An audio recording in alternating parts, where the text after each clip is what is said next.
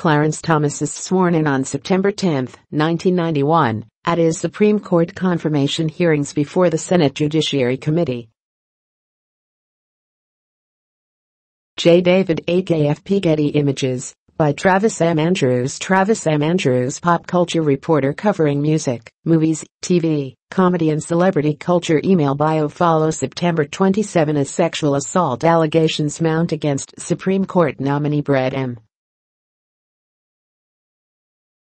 Kavanaugh, the country finds itself remembering a similar situation when Anita Hill accused then Supreme Court nominee Clarence Thomas of sexual harassment in 1991. That memory grows even stronger with Thursday's testimony by Christine Blasey Ford, the California professor who has accused Kavanaugh of sexually assaulting her when she was 15 years old. As Saturday Night Live prepares to kick off its 44th season Saturday, Ford's testimony raises the question of how the show, which traffics in political satire and has been especially topical during the Trump era, will address the thorny issue. During the Thomas hearings, shows as wide-ranging as Murphy Brown and the family-friendly dinosaurs addressed the Hill allegations with varying degrees of obfuscation, but SNL faced them head-on. One cold open in particular attracted attention, an October 12, 1991 send-up of the hearings in which the Senate Judiciary Committee essentially mocks Thomas for not getting a date with Hill before swapping progressively appalling and boorish techniques to pick up women. Many have praised the sketch as politically biting, and it's ended up on a few best of lists, including a list Al Franken wrote for the Washington Post of his personal favorites.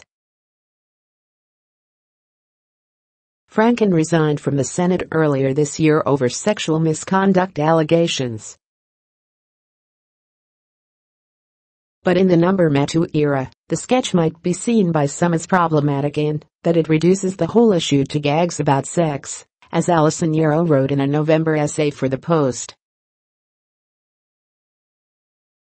Longtime SNL writer Jack Handey, who conceived of the sketch, told the Post via email that it was one of those rare occasions when the idea just hits you like a bolt from the blue.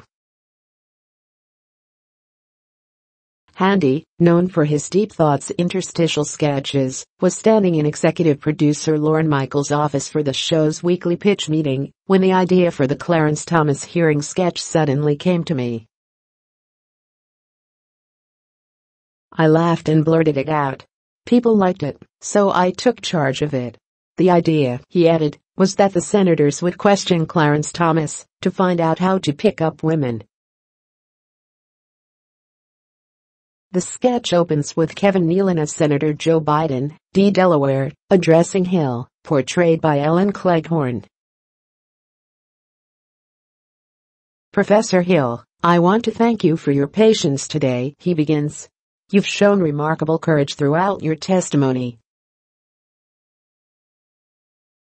It couldn't have been easy for you, or any of us, to sit here for the last seven hours and talk about penis size or large-breasted women having sex with animals, or pubic hairs on soft drink cans, or oral sex, or the black man's sexual prowess, or large-breasted women having sex with animals. But we appreciate your candor. Thank you, Senator Cleghorn's Hill responds as she walks off stage. It's her only line, and she isn't seen again. The committee then brings in Thomas, played by Tim Meadows, and they begin grilling him about how he went about asking Hill for a date. Then, rather than criticize him, they start to trade dating advice. Was she aware that, as your boss, you could have her fired? And she still didn't go out with you? An incredulous Nealon as Biden asks. There have been charges by Professor Hill that you talked causally with her about graphic scenes from a pornographic movie. Is that true? Nealon Biden asks, adding, and did that work? Did it break the ice? Then Dana Carvey is Sen. Strom Thurmond, RSE, and Chris Farley SN. Howell Heflin, D. Alabama, begin to discuss whether women prefer hardcore or softcore pornography.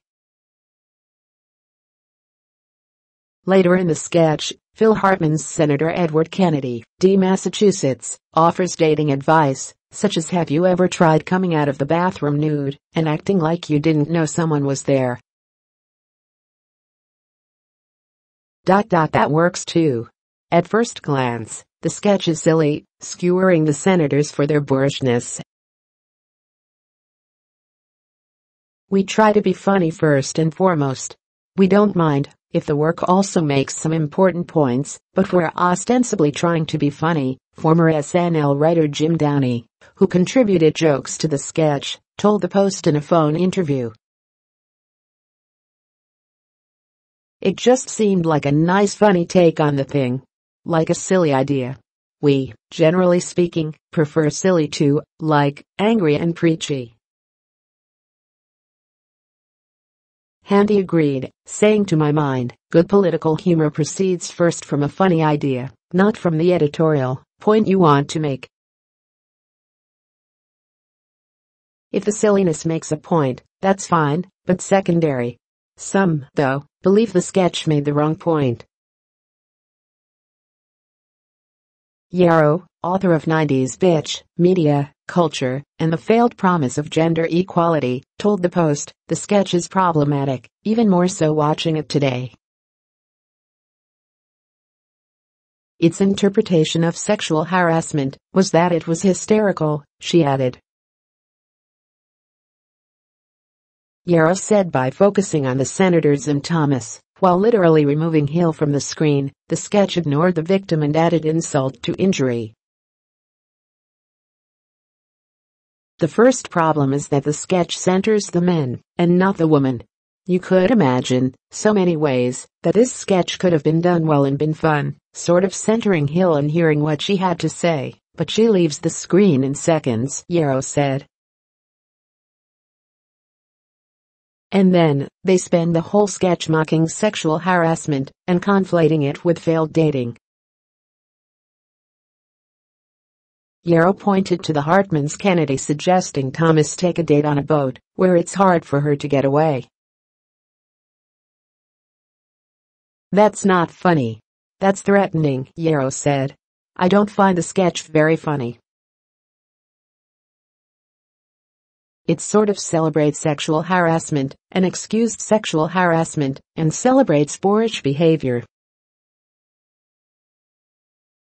The takeaway of the sketch for me is that Clarence Thomas was bad at picking up women, which completely misses the point that he was being charged with sexual harassment, which is not only unlawful, but perpetuates criminal activity, Yarrow continued.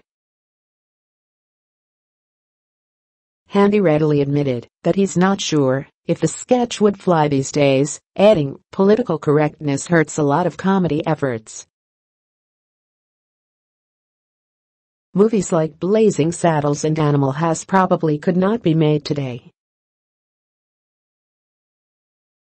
When informed of Yarrow's perspective, he said, a writer can only go with what pops into his head. If I had come up with a funny idea centering on Anita Hill, I certainly would have gone with that.